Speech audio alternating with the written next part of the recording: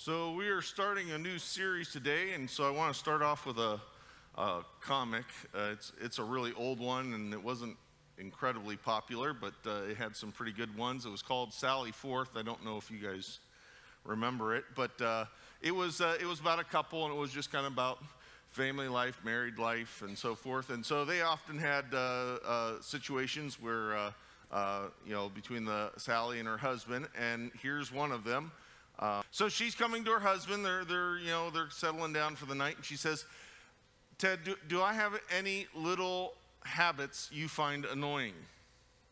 And he responds, I, uh, and then there's silence. Wait, I, I bet I know what's going on here. Uh, first, you ask me if I think you have any annoying habits. I weigh my options and decide discretion dictates that I say no smart husband. And then you say, as long as we're on the subject of annoying habits, and outpours a flood of my shortcomings.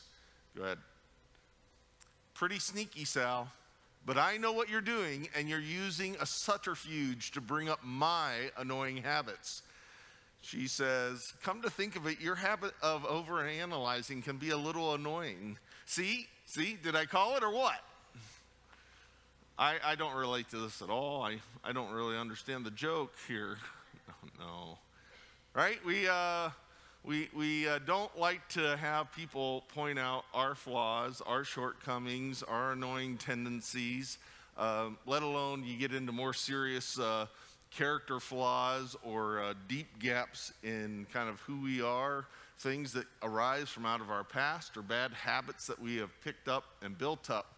You know, it is common for us to go, you know, it's, you know, on the surface, it's at the very least rude to bring up such things to people, right?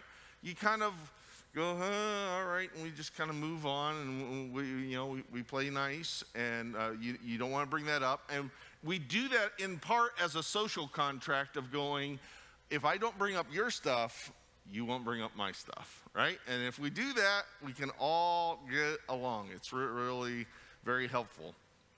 Um, but today, as we start uh, a new series called Dangerous Prayers, this is the very, ter- very territory that we want to go into.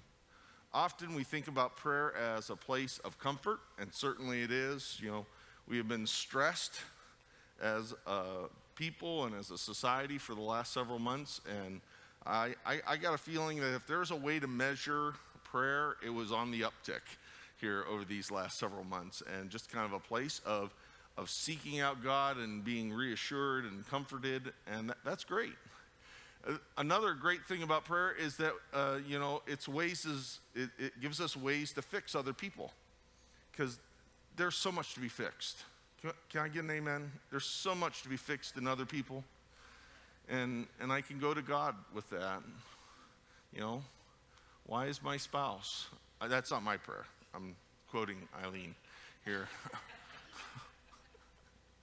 you know, your kids, your boss, your coworkers, your neighbors. There's always something good to be praying for to fix someone else right? Or to turn a situation my direction because when we go to God, we go, God, I, am in this scenario and you, you've, you've got to deliver me out of this. You've got to bring an answer. You've got to open a door because what's wrong in this situation is, in fact, the situation. And, and you need to really kind of cause something to happen. Well, those are legitimate things of prayer, certainly, and that's probably where we spend a lot of our time. But we're going to go into new territory, dangerous prayer territory. Dangerous because it's realms that we rarely go into, and it is fraught with difficulty because it has nothing to do with anyone else and everything to do with us. But not in the sense of going, I want things to turn my way. It is us putting us at the center of what God is wanting to do. And so we're going to look through uh, three different dangerous prayers over the course of these three weeks. Today, we are going to look at a prayer that's very famous. It's out of uh, Psalms 139. It's an incredible psalm. uh, it deserves not only its own sermon, it, it deserves its own series. It's, it's probably one of the cornerstone passages out of the scriptures. If you've not read Psalms 139, you need to jot that down and go, I, I need to be reading that uh, and spending some time there. It's an incredible passage, and it ends with two verses of prayer. And we're going to stay there for today. It goes like this It says, Search me, O God, and know my heart. Test me and know my anxious thoughts. See if there is any offensive way in me, and lead me in the way everlasting. I'm telling you right now, that's a very, very dangerous prayer. Probably should have the kids leave the room. This is like adults only. Only should be, be, be uh, uh, praying this because of what this does in terms of unlocking. And so we start off with this first call here of going, when we go to God, we go, God, search me. I want to really, really know. I want you to know what's going on inside me. Now, th- this is actually rather bizarre type of a thing, and we would need to look at the rest of the Psalms, and I'm not going to spend the, a lot of time here on the rest of this chapter. Um, but Psalms 139 begins with, Oh God, you have searched me and you know me. And the rest of the psalm is just laying out all the intimate, intricate ways that God is aware and knows fully everything about you. Knows where you, when you rise and when you lie down. He knows where you go and when you stay. He knows the thoughts in your head. He knows the words before you even say it. He knows all your days. He designed you. He created you. There is no aspect of your life that He is not perfectly in tune with in some ways, it almost goes beyond and says, you know what? God knows more about you than you do. You know, we tend to kind of go, I, am pretty in tune with myself. I think I know what's going on. Um, although we're guys, so guys can be a little bit clueless about ourselves at times. But we, we, we have this general sense of going, we, we know what's kind of going on, and we don't. There are times that we are confused about ourselves. There are times that we don't have a clear view of ourselves. And the psalmist has laid this out of going, God knows everything about you perfectly. And so he gets down to the end of this and all have already built this magnificent case of knowing that God has already searched out my entire life. He knows me incom- completely he takes this prayer and says, Oh God, I want you to search and know me. Is this prayer about God? Is the psalmist trying to get God to do something here? That's, that's normally what we think about as prayer, right? Me trying to ask God to do something. But that can't be it because he spent the rest of the chapter saying, God, God's already done this. Complete job. Fully finished. He knows it all. So, what type of prayer is this? What's going on here? Isn't this prayer about David, the psalmist, the writer, and when we pray, it's about us? It's not so much that uh, I'm asking God to do something He hasn't done, but I'm coming into tune with where He already is at and saying, God, I want you to open my eyes. I want you, I, I completely open myself up to you. That's not what we do. That's not natural to us. Um, you know, kids are pretty, they live in the moment. Uh, you get into teenagehood and you go through all that crazy stuff where everybody points out all your flaws, and man, it can be rather cutthroat. It was at least was really cutthroat when I was going to school. Um, I got picked on a lot, but it's okay. I've forgiven them. I've got their names on the list. I'm just waiting for our class reunion. We'll meet out back. Say, remember me? No, no, I'm not doing any of that. Uh, they pick on you, and and and so you know they they they are all about trying to hide that. We become adults and we kind of come into our own. But really, adulthood is a lot of going, how can I minimize what's wrong with me? And to the extent that I can't, that I hide it. And we do that social contract. I won't point out yours if you don't point out mine. Here, the spiritual truth, the spiritual path that we're being invited on is to go, I open the book of my heart and my life to you, God. I'm ready to be honest. What does it take to do that? It takes a lot of trust. A lot of trust. When Eileen and I first got married, um, we moved out to California, and you know how they talk about that first year is the adjustment year? We aced it because we're so wonderful and amazing.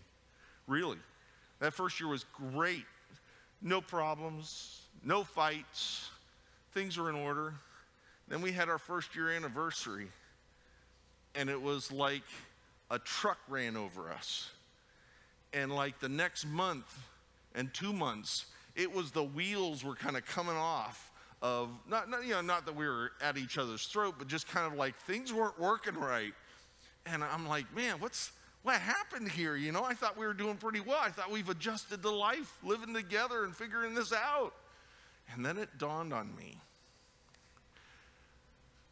for the first year, we were tr- still trying to impress each other.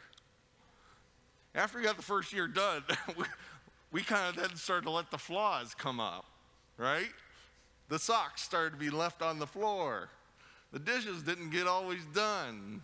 Just kind of, just kind of ease back into who we really were, and we were having to come to terms with, with the real truth of it, right? Now, I did a very, very brave thing. I went to my wife and I said, Here's what's wrong with you, honey. No, I didn't. Although I did, I went, we had to go for a drive. We drove out into the woods. It was after church. It was on a Sunday afternoon. And I was like, We've got to talk. We're a disaster. And she's like, I know. you know, and we, we kind of tried to talk this through, but it was really uncomfortable as a new husband of going, uh, I've never kind of brought up, you know, critiques of her or of me and can we handle that? And that was a whole new place. We came to that place of going, will we search and know? And it requires that trust. So we, we throw out that word all the time here at church. Oh, you got to trust God. You got to trust God. Right here, right here is where trust becomes real. Are you willing to open this door of God's looking into your life. God, I want to know the real truth. I don't want to hide it. I don't want to cover it up. I don't want to pretend it's not there anymore. I, just, I, want it, I want you to know me completely and, and for me to be part of that conversation. That's a dangerous prayer because it will take you to way new places. God's going, that's exactly what I want to hear. When we've done that, then we move on to the second part of this. It goes, he goes deeper. He goes, I don't want to just kind of point out some of these things, but I want you to test me and to see my anxious thoughts. Everybody's a liar. Everybody, even your pastor. I'm, I'm sorry to say that. Uh, now, we don't often lie to one another too much, maybe a little white lies, but you know who we lie to? lie to ourselves. I don't eat that much. I cannot figure out how the scale could count that high, but I don't eat that. I, I know I eat a lot, but I'm a big guy, right? I burn it all off. Uh, what happened to me? scales, scales have just gone all haywire. God, oh God, please change the scales, right? change my situation. No, no, no. I've got to come to a place of going, all right, what did I do? What happened here? Um, we look at our relationships, and it's easy to go, it's the other person, it's the other person. If they didn't do this, if they weren't like that, if they would change this way, boy, this would be really, really working. And we see it so clearly. But the psalmist knows he goes, No, no, it's This is about me. Test me. Put me under the microscope. So, you know, as I've been working with my kids uh, with uh, schoolwork here, and, uh, you know, at times they kind of hit those challenging spots, and they're like, well, you know, uh, you know, I've done all the homework, I've done all this, I really know the material. I go, yeah, but what's the test score? Well, yeah, but I did all this homework. Like, yeah, that's great, wonderful. You're supposed to do that work, but the test tells the truth, right? The test tells the truth because either I know it or I don't. I can do the, the math operations or I can't. I know the content. The test tells the truth. And the psalmist is going, I want to come to that place of truth. Test me. And often, where God uh, does this is where we've lied to ourselves, but He says, the things that reveal it are where I am most anxious. Fortunately, nobody's had this problem here anytime recently. Uh, so we're all in the clear. We could probably skip over this one, right? Isn't, isn't the way that we use prayer often of going, Ooh, I'm feeling anxious. God, God, come, come, comfort me so I don't feel this way, or fix the situation so I don't have to feel this way? And we get the complete opposite from the psalmist in this situation. He's going, I want us to go deep into my anxiety. I need to be honest about it what has got me wound up? Because there's a truth here. What we fear, what we worry about, is really where we're at. There's often a spiritual issue behind that.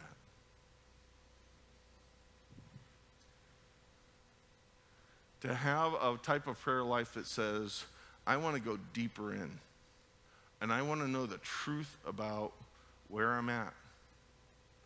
Not the things that I've told myself, but where the real truth is about my life. Not how I'm just getting along, but how do you see it, God? Right? We grade on a curve. We grade, uh, as, as my friend Joe says, we judge everyone else by their actions and we judge ourselves by our intentions. We give ourselves we grade on the curve, right? Well, I didn't really mean that, or there's a reason why I can be this way. The psalmist is saying, No, no, no, no. Test me and see. I got to know the truth. The third part of this then is he digs even deeper. He goes, Let's go even past the anxiety and the fear. He says, now I want you to look so deep in. I want you to go to the places that I hope nobody finds out about, that nobody talks about, that I don't want to bring up. I want you to see so deep inside me that you see what may be offensive, offensive to you.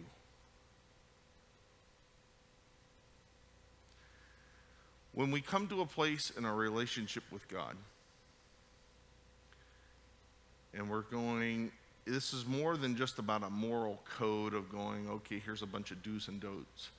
But I come to grips with myself that really, you know what? I'm not as good as I think I am.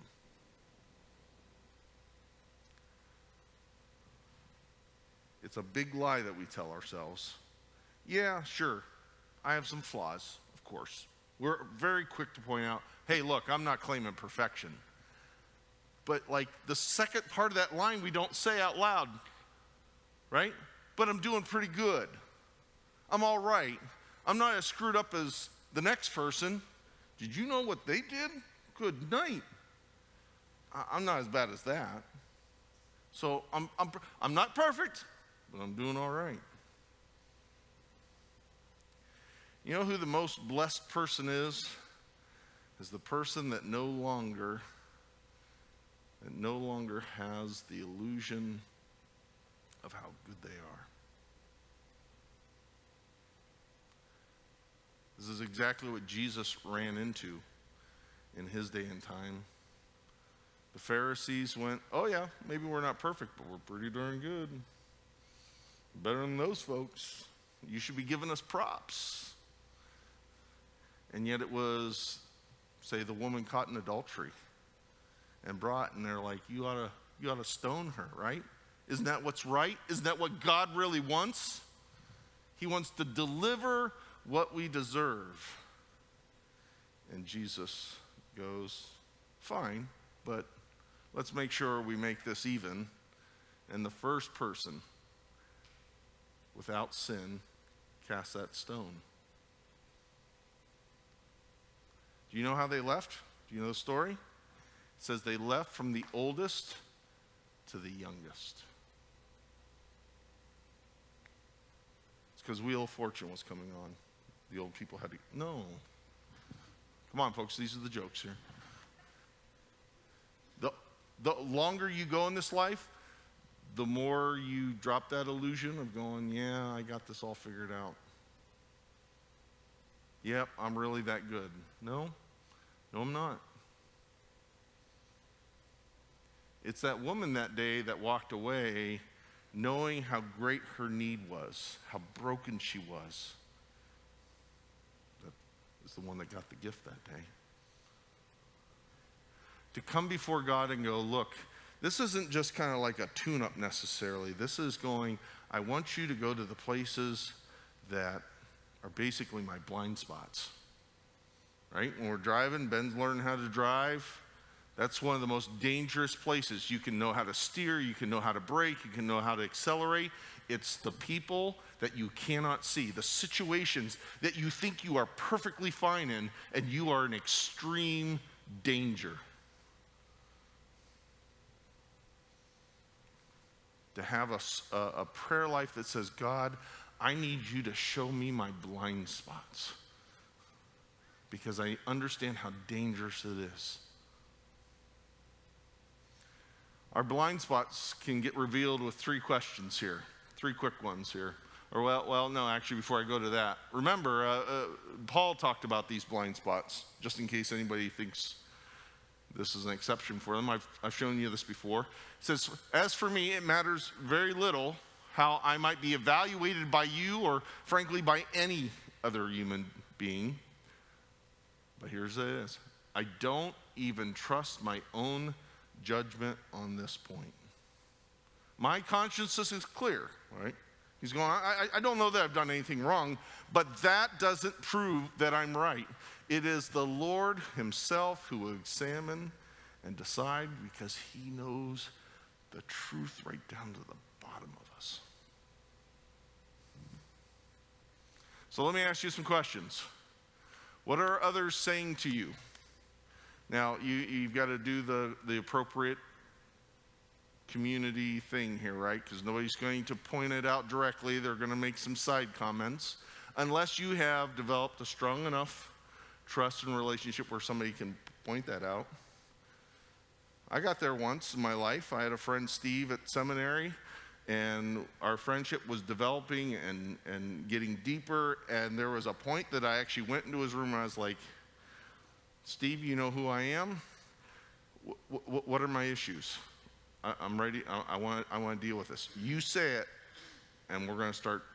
I'm going to start working on that. Never done that since then. That's a pretty tough moment. Who's bringing stuff up to you? I'm not talking about one time or the people that might nag you, but something that's persistent. What have you rationalized for some time? No, no, that really isn't a big deal. No, no, there's a reason why that's okay.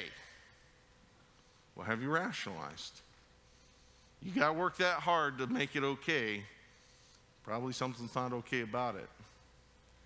And what's the bottom one? Woo, where do you have a soft nerve? What ticks you off? I'm telling you what, that often reveals where we go. We know something's amiss, and you're pointing something out that I don't like to be pointed out.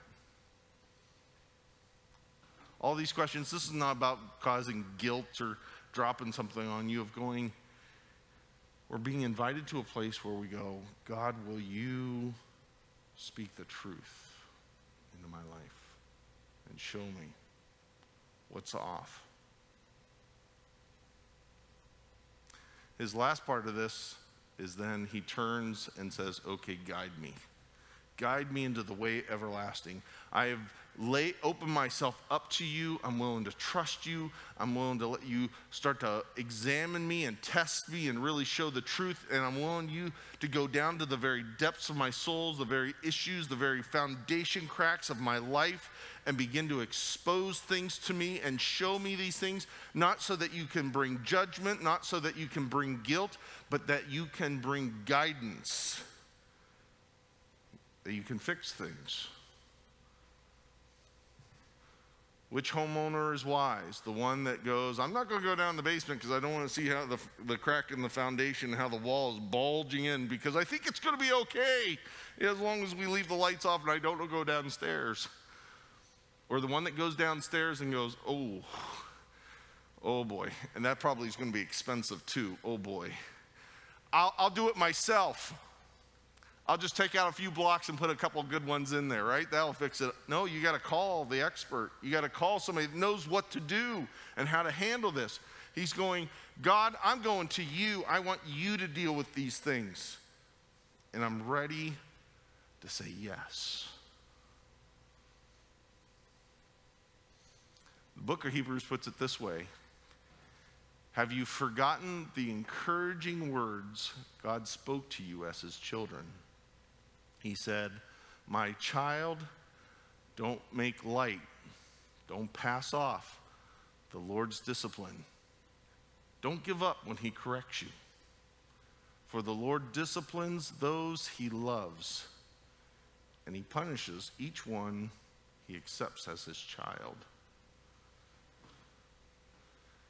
This is stepping into a mature relationship with God where you go, it's not this God is a cop and he's come to catch me, or God as a comforting blanket and he just kind of winks at everything that I do wrong and it's kind of an, oh, it's all okay, and we'll not, we'll just pretend that that stuff isn't there. This is stepping into a mature understanding and relationship of God, of going, He loves me, He knows me, and I can trust Him. And the sweetest thing in my life is to receive that correction even, and in fact, I would say especially, especially when it's hard.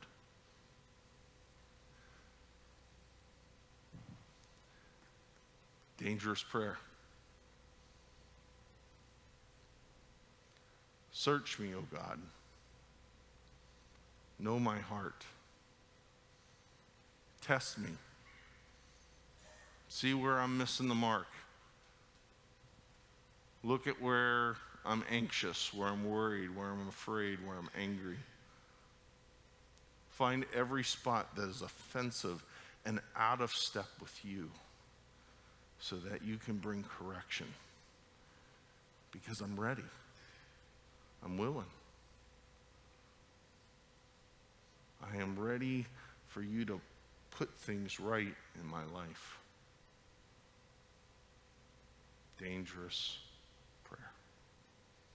Let's pray. Father God, you have some deep work you want to do in us.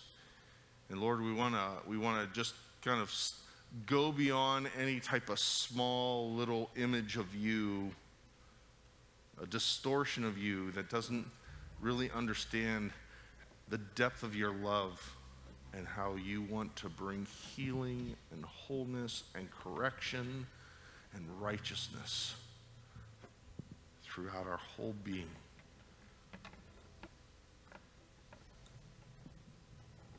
Lord, we ask you to search us, search us individually, to search us as a body, to make the adjustments that only you can make.